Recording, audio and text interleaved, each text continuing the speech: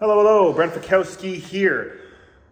Let's talk CrossFit training. Let's talk uh, Professor Project training, October 9th to October 15th. Another big week, uh, fun week of training, lots of fun stuff in here. Really enjoyed this one. D dive in a little bit here into the swim workout. Uh, please don't suffocate, please don't drown. Uh, in the water. Uh, so I guess you can't really suffocate in the water, you drown in the water. So uh, the goal of the training is to kind of push your comfort level in regards to having an elevated heart rate, having an elevated panting breathing rate, diving into the water and maintaining that streamline and that initial speed you get from the dive for as long as possible, right? When you are swimming a race, the fastest part of your race is going to be jumping or pushing off the wall and streamlining, and then you get into your stroke and then you maintain. Um, and then you, you know, get to your, you know, race pace and then you keep that race pace. So in CrossFit context, if you're doing stuff on dry land, you're doing burpees, you're doing dumbbell snatches, you're on the assault bike, whatever it is, and then you dive into the water, your breathing rate is going to be elevated, right? It's different than when you're swimming where you're going to be fresh off the block. So obviously, you know, pro swimmers are going to go as far as they can. Uh, in swimming, it's 15 meters and you have to pop up. Uh, in CrossFit, you could go, you know, probably further. But the trouble is, you know, you're doing burpees and jumping air squats in the case of this workout, and then you're you want to dive in and the, and the and the the instinct is you're you're huffing and puffing. You catch your breath a little bit you dive in the water and you go down and up and, and you take this huge breath. Well you just lost all your speed. So what we're trying to do here is elevate that heart rate doing as kind of little work as possible. So trying to do 15 fast burpees um, 20 fast air squats jumping air squats. Uh, but if you have another piece of equipment you want to use, if you have an assault bike, that'd be great.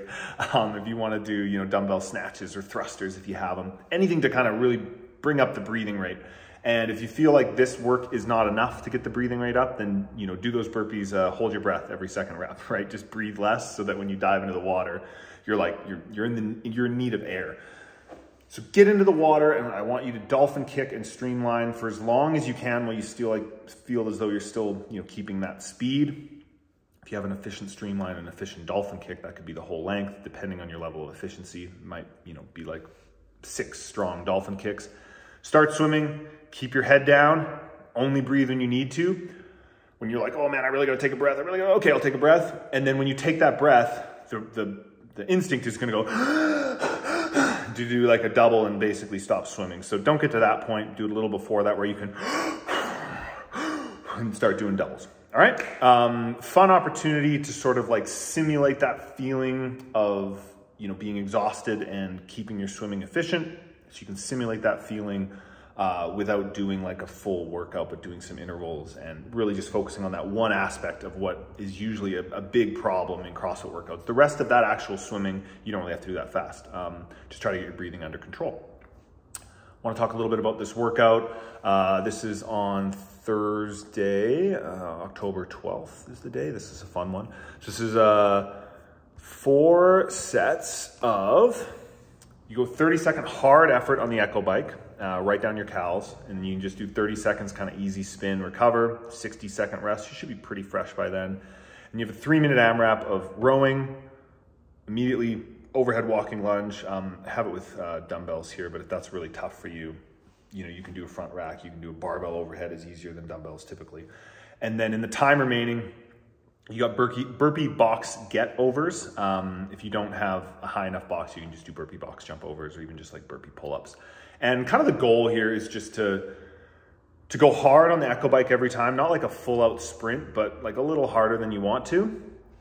Hopefully recover and then kind of settle into like a grind pace. Keep those overhead walking lunges efficient. Keep that same pace on the rower and keep a nice smooth pace on the burpee box jumps. It's a good pacing workout, right? It's an opportunity to you know, kind of find a pace that's uncomfortable, knowing by that fourth round you're going to be more tired, even though there's quite a bit of rest, three minutes rest. Knowing by that last round you're going to be more tired, um, and so you kind of hold back a little bit in that first round, so you keep the same reps in the next few rounds. Uh, I was able to kind of like do the first two rounds, and then the last two rounds I added like two burpee box jumps. I was like, yeah, I might as well go a little harder, but kept the Echo bike basically the same within a calorie each time. Uh, good kind of pacing workout, right? Like no no no need to go absolutely bananas there, uh, but a good opportunity to get some good work in, practice the overhead walking lunge technique. Um, if you have some extra time, uh, we obviously have like the uh, the overhead reach and stuff in the warm up. But if you have extra time to like really roll out the lats, smash the pec minor, um, you know, the trap, whatever it is to really get that overhead position, ideally you're holding those dumbbells right here as opposed to like this, right? Um, and then on Wednesday, as we've been doing, we got the skill work. Uh, been getting good feedback about that. Hope you guys have been enjoying it. I know I have. Um, just an opportunity to to just work on skills, right? And uh, kind of choose your own adventure here. I'm, I'm, excited about the handstand hold drop set. Basically, you know, hold if you can hold a 90 second handstand hold, just do that. But depending on your skill level, start with the toughest variation. You know, maybe that's a handstand hold against a wall. Hold there for like 30 seconds. Oh man, I'm dying hop off, and then go to feet on a box. Hold there for another 30 seconds. Oh man, I can't hold any longer. Grab some dumbbells or a barbell, hold them over your head. And so you accumulate 90 seconds like back to back. But if you're really skilled, you can just do a 90 second freestanding handstand hold uh, and then do a 45 second hang from the pull-up bar. Same thing, scale that if you need to with you know your feet on a box kind of thing or, or a band.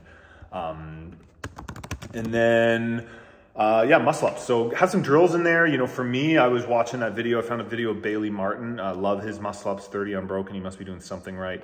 And, uh, you know, have a look at those. He's in the center lane there. Just beautiful muscle ups where he's pulling high, he's catching, he's holding some tension. He's not just oh, dropping into the bottom of that dip. He's holding some tension. His feet, so if this is his mass here, and he catches and his legs and his feet are over here. And then as they swing back, he then pumps the knees up and he dips uh, while still being kind of like in a hollow position, right? So he's here, legs are here as he catches, like there, and then as they swing back, then he dips up, but he's not doing this, he's not arching, he's staying hollow, and he's kind of staying tight through here. Beautiful ring muscle ups there, especially the first, you know, 10 to 20. Um, so yeah, have a look at those, film yourself from the side, compare to Bailey Martin and see how close you get and see what you can do. I mean, for me, uh, the biggest things I try to focus on is keeping my legs, as I turn over, keep them pretty relaxed, let them just kind of stay straight.